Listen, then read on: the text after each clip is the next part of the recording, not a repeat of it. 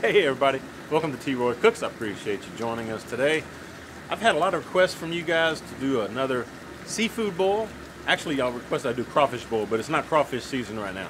So the next best thing will be to do a regular seafood boil. I got some crab, some snow crab legs, I got some shrimp. I'm Fixing to throw in this pot back here. I just filled it with water. I'm letting it come up to a boil. When it comes up to a boil, I'll bring you back. We'll show you what we're going to add to the water. It's going to be great, y'all. Stick around. All right, guys. I got some steam coming over here, so this water is boiling. And I've got my strainer. If you use one of these uh, pots like this, try to get one that's got a strainer. Makes life a lot easier when you're pulling the seafood out. All right, here's what we got. This is my seasoning, folks. This is a Louisiana shrimp and crab boil, or crawfish shrimp and crab boil. It's good stuff right here. I like the Louisiana brand myself. I'm gonna go in with a full bag. This is a 16 ounce bag. And my pot's about three quarters of the way full. And when I insert that strainer, it's gonna raise the water level and then I add seafood. And I try to keep the water level below the top edge of the strainer. So, we got going there? I'm gonna add this full bag here.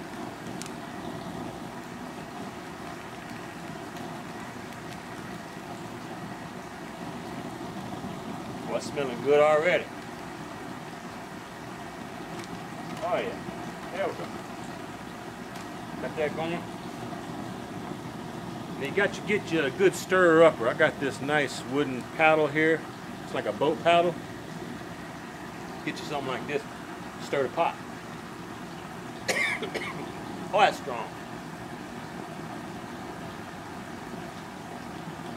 Make sure you stir the seasonings up real good. Make make it make sure it mixes in with the water. Woo! Getting to me, man. As you're noticing, you could do this inside on your stove, but you might want to put your vent on high if you got a vent for your stove. Because these the fumes coming off this thing knock you out, man. I appreciate all you who requested me do a another seafood type bowl. That mixed up pretty good. Let's see what we can go in with next. Some regular old salt, you know, just a regular old box of salt here. It's 26 ounce. I'm probably going to use about half of this because I've tried just the bag by itself and it's just not, the seafood isn't salty enough for me. So I like to add a little bit of salt.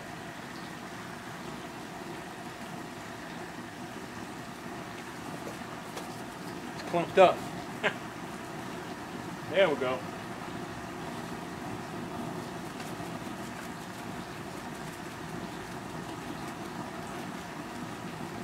Now we're talking. Here we go.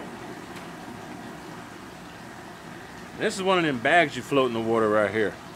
This is the, uh, it's another seafood uh, crawfish, crab, and shrimp boil type bag, but it's it's like one of these uh, bags that's got all the different mustard seed. And what else we got in here? Let's see. Mustard seed, coriander, red pepper, bay leaf, dill seed, cloves, and allspice. Throw the bag in there, folks. Just one bag. That's all you need.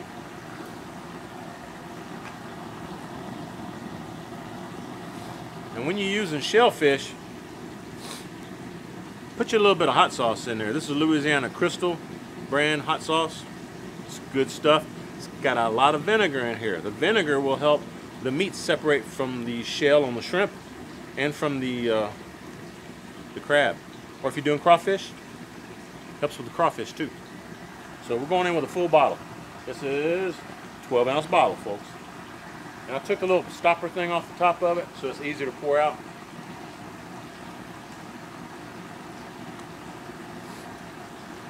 There we go. Oh yeah, now we're talking. Butter. This is salted butter. Going in with a full stick. There's two half sticks that I've got.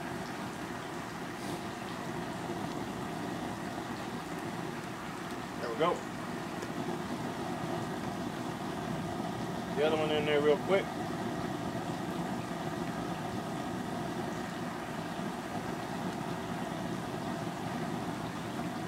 And that butter will also help the meat separate from the shell, if you didn't know.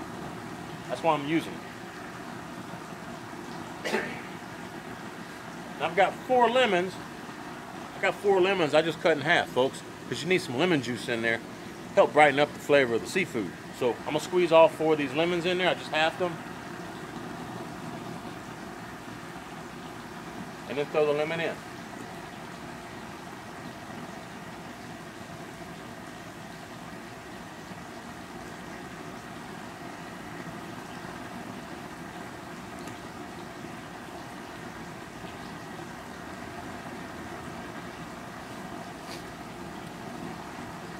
Y'all see the mistake I made? I forgot to put the strainer back in there. Let me do that.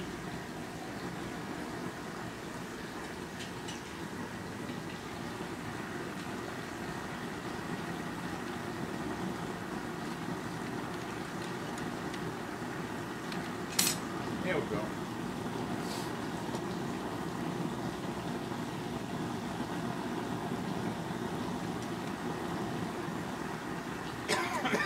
That'll work. Give him a nice little stir up again. Make sure all that salt gets mixed in there too, folks.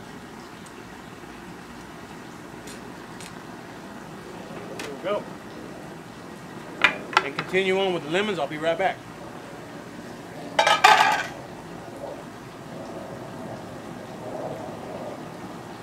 All right, now you want to go in with a, a large onion. This is a sweet onion. I halved it and then quartered those halves. That's what we're going in with next.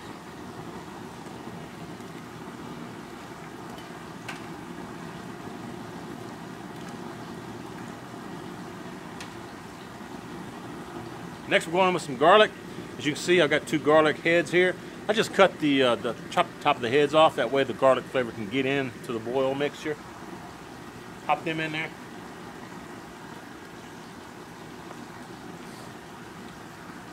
I'm gonna put the lid back on this. I'm gonna let it come up to a boil. I'm gonna let it boil for about 10, 15 minutes. Make sure all those seasonings get all mixed in with everything. We'll bring right back. We're fixing to add some seafood and stuff. Guys, I almost forgot. I need some of this liquid, concentrated crab and shrimp and seafood boil here from Louisiana. So there you go. Give it a good shake. I'm gonna probably use about four to six ounces of this. Pour this directly in.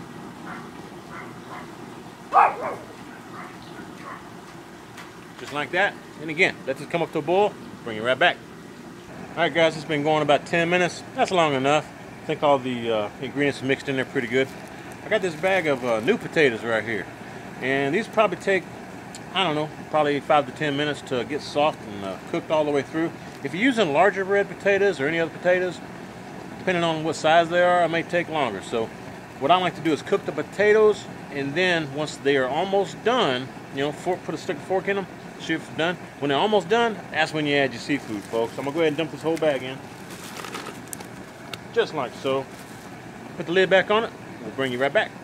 These potatoes been in there just for a couple of minutes. I went to check my freezer to get out my shrimp that I'm fixing to throw in there here shortly and found some corn. We're gonna throw some corn in there, folks. It's frozen corn. And uh, you can throw pretty much anything that you want in here. There's no rhyme or reason. Throw anything in there. Just do what you want, man. In fact, I usually uh, I usually throw some sausage in here. I don't have any sausage, but sausage would be great in here too. And you add it when you add the potatoes in the in the corn. So anyway, we're gonna let this go. Like I said, I don't know, about 10 minutes or so. We'll check the potatoes. We'll be right back. All right, gang. It's been about 25 minutes. Let's go ahead and check these potatoes. See how they're looking. Ooh, my glass is fogged up. Ha. There we go. Let's just scoop us up a potato right there.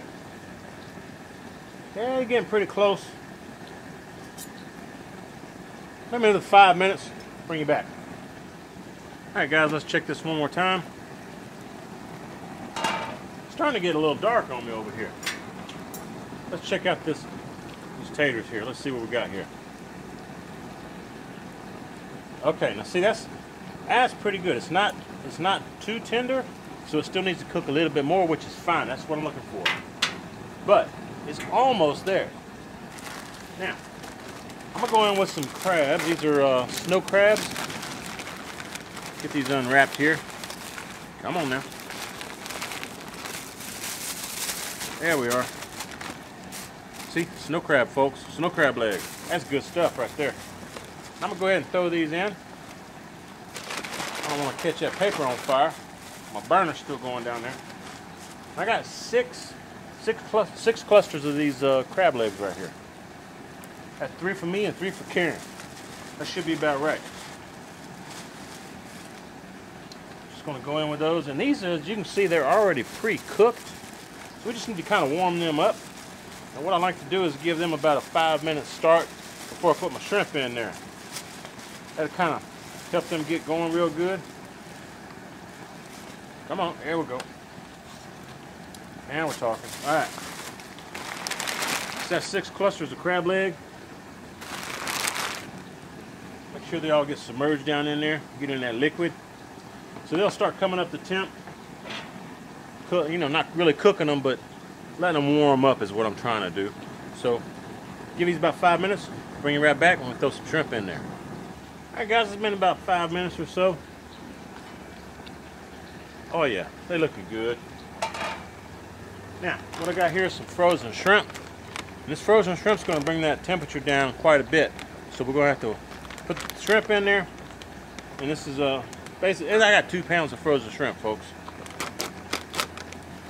I'll throw some shrimp in there though. I'll let them come up to a boil. So I'm gonna put the lid back on there. Let them come back up to the boil. There we go. Again, push all that down. Let it get submerged into that nice, nice liquid there. Oh yeah, that's what we're talking about.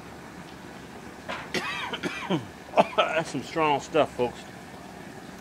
So, we'll let it come up to boil. I'm gonna put the lid back on it, but come up to a boil. Once it starts boiling with them shrimp, and same with crawfish, give it three minutes. Then shut the fire off with the lid on. Let them soak for a good 20 minutes or so and then taste the shrimp or taste the crawfish or whatever you're using. Um, see if it's spicy enough for you. If it's not, put the lid back on, just let it keep sitting. When it's spicy enough for you, that's when you pull them out. Different people have different spicy levels, taste, you know, so just do them until you're ready. Do them until they're spicy enough for you. I'll let you know how long we'll go with this one. We'll check back here in a few, folks. All right, gang. I let this come up to a boil. It's been three minutes. As you can see, she's looking really good. All right, so put the lid back on it. I'm gonna shut the fire off. Turn my gas off.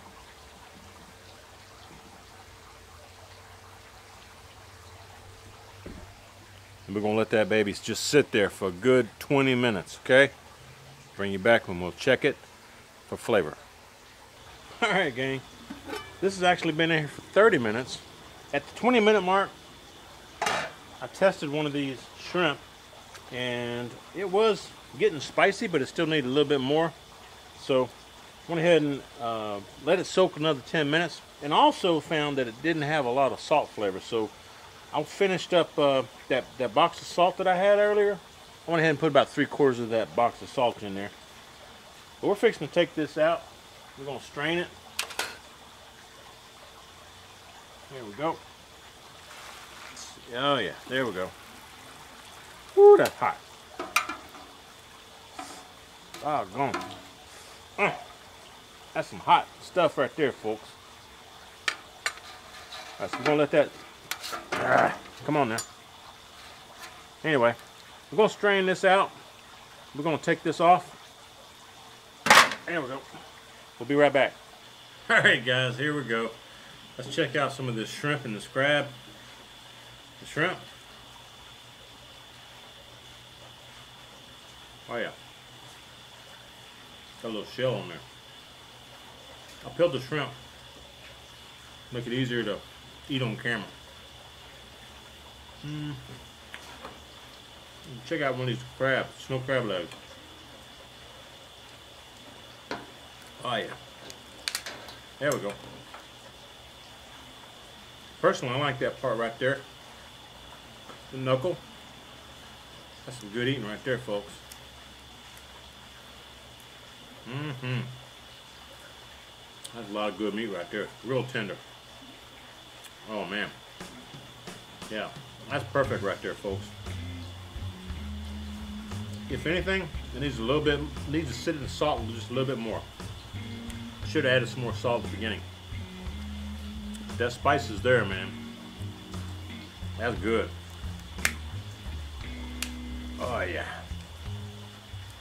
Break this baby open. Oh yeah, now we're talking. Check that out, folks.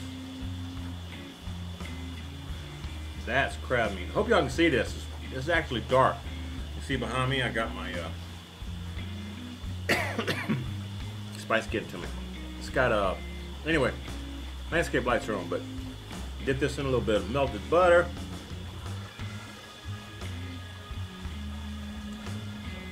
Oh yeah.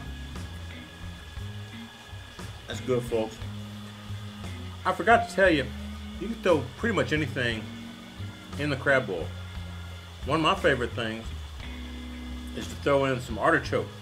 Chop the head, you know, just a little bit so you get to the heart of the artichoke. Expose it. Artichoke in a crab bowl is really good, folks. Or crawfish bowl, whatever you want to do. Same mixture, just different seafood. It got some good kick to it, folks. Yum. Hope y'all uh, enjoy this. I posted some uh, some pictures on Instagram, Facebook, and stuff, so hope y'all check that out. Now check out the links down below. Just hit show more down below if you want to follow me on social media. This is excellent though. I appreciate the suggestion to do another uh, crawfish type boil, a seafood boil. And I'm sorry it's dark out here. I should have brought my lights out here, but seafood gets cold quick, so I gotta eat it. But I hope y'all enjoyed it. Y'all give me some thumbs up. Hope you share the video. When you do, please tell all your friends that T-Roy cooks responsibly. Cheers, everybody.